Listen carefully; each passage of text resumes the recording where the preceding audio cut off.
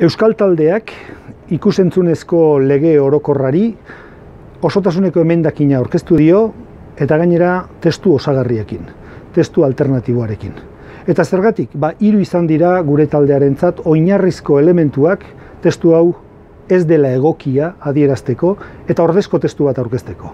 Lehenik eta behin, iruditzen zaigulako rezentralizazio handi bat dakarrela lege honek eta ez dagokion eskumenetan sartzen dela. Hau da, kasu hontan euskal eskumenetan. Bestaldetik, gobernantzari dagokionez, telebista autonomikoen gidatzeko moduan nola izan beharko lukeen planteatzen du eta gure eritziz hori ez dago kio estatuko lege bati. Eta hirugarren eta azken puntu bezala, baina guretzat oso zutabe garrantzitsua dena, euskararen alorra. Euskara eta era berean baita ere beste ofizial diren zenbait hizkuntza estatuan ez ditu kontutan eta intzakotzat hartzen behar den bezalaxe. Beraz, hiru horrazoi hoiengatik beste zenbait ere badira, baina batez ere hori da zutabe nagusia, horregatik aurkeztu dugu osotasuneko emendakina, baina baita ere ordezko testu bat.